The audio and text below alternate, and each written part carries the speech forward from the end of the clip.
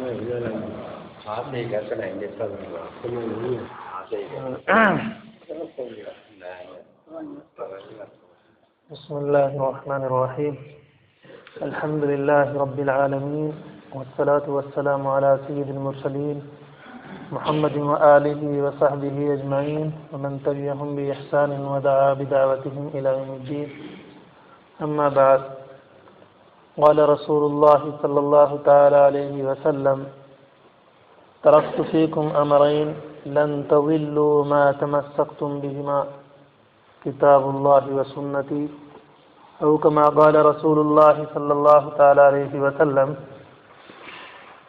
मेरे मोहतरम दीनी भाइयों आज हम ज़िंदगी के अंदर दुनिया के अंदर बहुत से मसाइल और मुश्किल से दो चार हैं। बहुत सी बीमारियाँ लाहिक हैं। बहुत सी परेशानियाँ सामने हैं। हर एक आदमी की अपनी ज़िंदगी के अंदर, हर एक आदमी की अपनी सोसाइटी और अपने माशरे और अपने कारोबार खेती बाड़ी अपने बिज़नेस के अंदर कुछ ना कुछ मुश्किलात हैं, कुछ परेशानियाँ हैं। और एक आम सा आदमी है, उसकी ज़िंदगी भी परेशानियों से खाली नहीं है। हर एक आदमी कुछ ना कुछ उलझनों का शिकार है।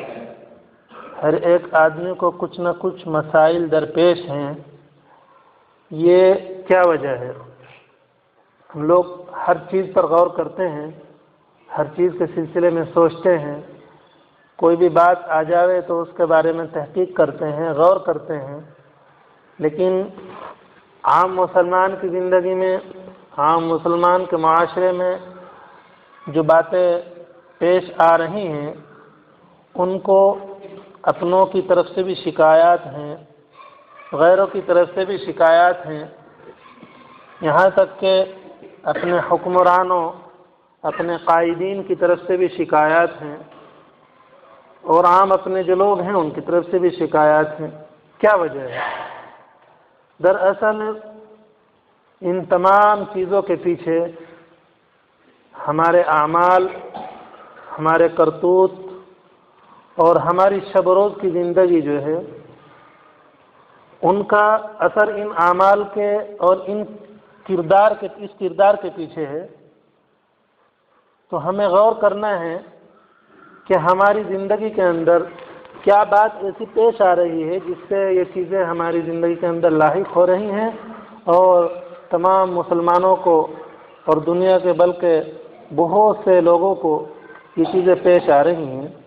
अल्लाह के रसूल सल्लल्लाहु अलैहि वसल्लम ने एक हदीस के अंदर इरशाद फरमाया कि मैं तुम्हारे दरमियान में एक दो चीज़ें ऐसी छोड़कर जा रहा हूँ कि अगर तुमने उनको मजबूती से थामे रखा तुमने उनको पकड़े रखा, अपनी ज़िंदगी को उनके मुताबिक ढाल के रखा, अपनी ज़िंदगी को उनकी तालीमत के मुताबिक चला के रखा तो तुम गुमराह नहीं होंगे, तुम्हें परेशानियाँ लाहिक नहीं होंगी और ज़िंदगी के मसाइल से दो चार नहीं होना पड़ेगा। वो क्या है? वो अल्लाह की किताब है, कुरान करीम है, सुन्नत रसूल सल्लल्लाहु अलैहि वसल्लम है। हदीस नबी है हम हर चीज़ के पीछे, हर वाक़े के पीछे अगर गौर करें और हम अपनी ज़िंदगी के हर गोशे पर अगर गौर करें तो हमें मालूम होगा कि हमारी ज़िंदगी के अंदर और हमारे इस अमल के अंदर कोताही है। कुरान करीम से उससे, कुरान करीम से उसका कोई वास्ता नहीं है। अल्लाह के रसूल की हदीस से उसका कोई वास्ता नहीं है। यही वजह है कि ऐसे परेशानियाँ आ रही हैं। हम सब कुछ कर रहे हैं, ज़िंदगी के सब मामला कर रहे हैं, लेकिन हमारा ताल्लुक़ आसमानी किताब से नहीं, हमारा ताल्लुक़ कुरान करीम से नहीं। कुरान करीम हमारे घर में मौजूद है, मगर हम पढ़ते नहीं। अगर पढ़ते हैं तो उसके अंदर क्या लिखा हुआ है वो हमको मालूम नहीं। सिर्फ़ ताकों में सजाया हुआ है अच्छा सा जुजदान है। कभी कभी हटा कर उसको खुशबू भी लगा देते हैं, मगर ऊँचे रखा हुआ है। एक साहब ने हमें बड़ा लतीफ़ा सुनाया। वो, उन्होंने कहा कि अंग्रेज़ों ने चाल चली थी कि भाई कुरान को सजा के रखना ऊपर इसकी बेदबी ना होने पाए। कि वो रख तो दिया ऐसे ही कि वो ऊपर रखा हुआ है, बस पढ़ना नहीं उसको। सजा के तो रखा, इस पर अमल तो हो रहा है कि कुरान रखा, ऊँचे रखना भाई। मगर उसमें क्या है, उसके अंदर क्या पैगाम है किस मुसलमान को पता है? किसी को नहीं पता है।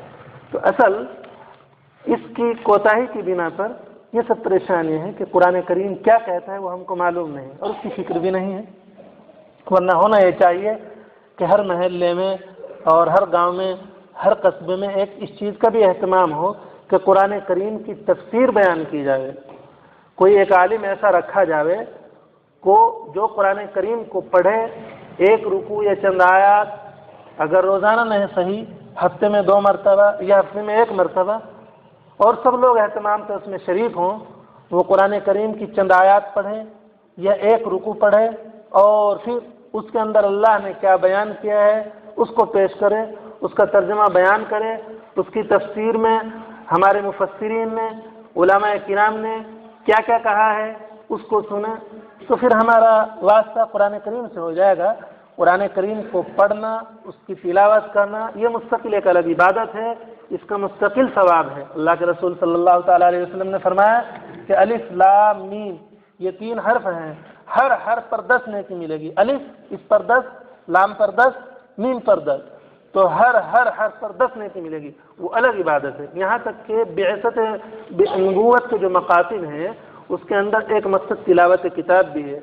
हुवल्लज़ी बासफ़िल उम्मीन रसूल मिनहुम यतलू अलैहिम आयातिही। व युज़क्कीहिम व युअल्लिमुहुमुल किताब वल हिकमा नबूवत के और बेसत के मकासद में सबसे पहला मकसद वो जो है वो तिलावत किताब है किताब की तिलावत करना है तो ये मुस्तकिल एक अलग इबादत है तो इसमें तो हम लोग अगर रुपए में पच्चीस पैसे लोग तिलावत करते ही हैं यानी पच्चीस परसेंट समझिए एहतियात के साथ हालाँकि इतना भी नहीं करते मसाजिद के अंदर कुरान करीम रखे हुए हैं घरों पर कुरान करीम रखे हुए हैं लेकिन पाँच मिनट, दस मिनट, आधा पारा पौ पारा पढ़ने की बहुत कम लोगों को तोफीक है। बस जिसको अल्लाह तोफीक दे, वो पढ़ते हैं। ऐसे भी हैं जो पूरा पूरा कुरान पढ़ते हैं रोज़ाना। तीन तीन पारे पढ़ते हैं, चार चार पारे पढ़ते हैं, लेकिन वो चंद हैं। वो लोग भी ना रहे तो फिर तो मामला गड़बड़ हो जाएगा, ऐसे लोग तो हमेशा रहेंगे। लेकिन आम मुसलमानों का जायज़ा लिया जाए यहाँ तक के हमारे तबक़े उलमा के लोग भी कुरान करीम को रोज़ाना नहीं पढ़ते। बस वो रखा हुआ है। इसका अहतमाम होना चाहिए तो तिलावत तो होनी चाहिए, वो अलग मकसद है। मगर आम लोगों को, यहाँ तक के उलमा को भी रोज़ाना, वो तो मालूम है उनको, लेकिन थोड़ा थोड़ा तर्जमा थोड़ी थोड़ी तफसीर पढ़नी चाहिए और लोगों को मस्जिदों के अंदर बयान करनी चाहिए। वरना अल्लाह के रसूल का यह फरमान कि मैं तुम्हारे दरमियान में किताब और सुन्नत छोड़ कर जा रहा हूँ, इसको थामे रखना, इसको तो मजबूती से पकड़े रहना, जब हमको पता ही नहीं है उसके अंदर क्या है तो कैसे उसको थामे रखेंगे? कैसे उसको मजबूती से पकड़े रखेंगे? उसकी कोशिश भी नहीं करते। कौन कोशिश करते हैं कि हमारे महल्ले के अंदर, हमारी मस्जिद के अंदर रोज़ाना या हफ़्ते में एक मरतबा कुरान की तफसीर हो, कुरान का तर्जुमा हो? सब लोग गाफिल हैं, इसकी तरफ़ किसी का ध्यान नहीं। कोशिश करनी है कि ये जज्बा पैदा करें अपने अंदर और इसकी तरफ़ ध्यान दें। हर गाँव में, हर कस्बे में, हर महल्ले में इसका मिजाज बनाया जाए कुरान से बरह रास्त ताल्लुक जोड़ा जाए जब बरह रास्त कुरान से ताल्लुक हो जाएगा तो फिर इन ज़िंदगी के सारे मसाइल हल होते चले जाएँगे। इसलिए कुरान सारे मसाइल का हल है। कुरान पूरा दस्तूर है, पूरा निज़ाम ज़िंदगी है। अगर इसको पकड़ा जाएगा इस पर अमल किया जाएगा तो सारी मुश्किलें आसान हो जाएँगी। ऐसे ही हदीस पाक, रसूल पाक सल्लल्लाहु अलैहि वसल्लम एक एक हदीस। रोज़ाना पाँचों नमाजों में ना सही, एक नमाज़ में इमाम साहब, हाफिज साहब, कारी साहब या मौलाना साहब एक हदीस पढ़ दे छोटी सी और उसका तर्जुमा कर दे। तो बर रास्त हदीस से भी रबता रहेगा। अब हम मुसलमान हैं, हम बातें तो करते हैं, अल्लाह रसूल की बात मानो भाई। और पता कुछ नहीं, अल्लाह रसूल की बातें क्या है? किसको पता है? और वो कहाँ से पता चलेगा? वो कुरान से पता चलेगा, हदीस से पता चलेगा। हम लोग सब दावा करते हैं, अल्लाह रसूल की बात मानो भाई। कुरान हदीस की बात मानो। अरे अल्लाह के बंदो, पता भी है क्या है कुरान में, हदीस में? उसको पढ़ेंगे, उस पर गौर करेंगे, तभी तो पता चलेगा। कुरान की तफसीर सुनेंगे, कुरान का तर्जुमा सुनेंगे, तभी तो पता चलेगा क्या कुरान में है। एक एक हदीस रोज़ाना पढ़ेंगे या सुनेंगे, तभी तो पता चलेगा। क्या कहते हैं अल्लाह? बस एक लफ्ज है कि भाई अल्लाह रसूल की बात मानो, कुरान हदीस की बात मानो। कहाँ है वो? बतलाओ तो क्या है कुरान की बात? क्या है अल्लाह के रसूल की बात? इस पर अमल नहीं है। मेरे दोस्तों, अल्लाह के रसूल ने फरमाया कि तुम्हारे दरमियान में तरफ़ फीकुम अमरइन लन तजिल्लु मा तमस्सकतुम बिहिमा किताबुल्लाह व सुन्नती। दो चीज़ें ऐसी छोड़ कर जा रहा हूँ। अगर तुमने उनको मजबूती से पकड़े रखा, अपनी ज़िंदगी के अंदर उनको नाफिज रखा तो कभी गुमराह नहीं होंगे, कभी ज़िंदगी के अंदर मसाइल और मुश्किल नहीं आएँगे। को इसकी तरफ़ ध्यान देना है और फ़िक्र करनी है।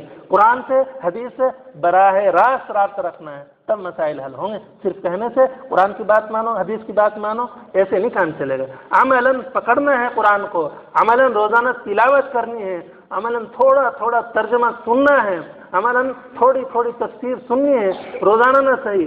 हफ़्ते में दो मरतबा, हफ़्ते में दो मरतबा ना सही तो हफ़्ते में एक मरतबा तो ज़रूर होनी चाहिए। इसका मिजाज बनाए, इसकी फ़िक्र पैदा करें तो इन इस फ़िक्र का नतीजा निकलेगा और हर जगह फिर इसका चर्चा होगा और इस पर अमल होगा। अल्लाह तबारक वाली हमें कुरान को और हदीस को मजबूती से अमलन पकड़े रहने की तोफ़ी और हिम्मत अता फरमाए। वाखिर दावाना